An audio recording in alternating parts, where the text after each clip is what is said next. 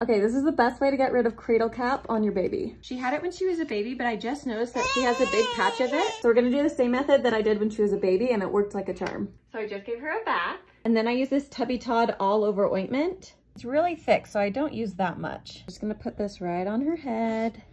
It looks kind of gross, but I just let it sit like that overnight.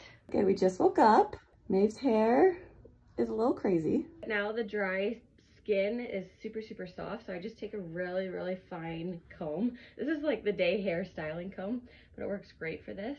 Just gently brush through her hair. Ooh, does that feel nice? I don't know if you can tell, but it seriously picks up every little piece. Ooh, but also it's so satisfying. I forgot to finish that video, but I just gave her another bath to wash everything out of her hair. And then she's good to go. No cradle cap.